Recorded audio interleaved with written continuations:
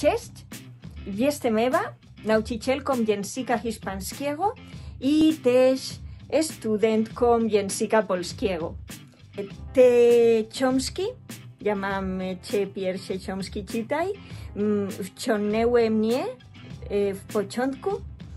Moje ulubione postacie, mm, Kot Figaro, kryminały, gadające zwierzęta, rodzina Majów, e, sąsiedzi są zabawni, ale też realistyczni i zawsze jest wiele niespodzianek.